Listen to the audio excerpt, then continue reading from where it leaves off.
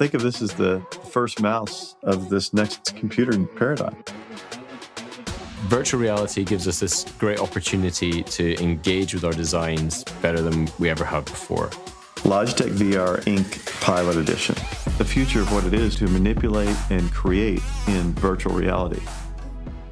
One of the most exciting things right now is watching VR technologies become more advanced. With these new technologies like Logitech's VR Ink, they're able to create in a natural way in an environment that's more productive and efficient than ever before. Logitech Ink has allowed us to accelerate the design process. Getting to market faster, quicker, is uh, a huge competitive advantage. Our mission here is really to help enable those development processes to be more efficient and more effective. It's super exciting. The early results look fantastic. We're showing the world a glimpse of what the future might be.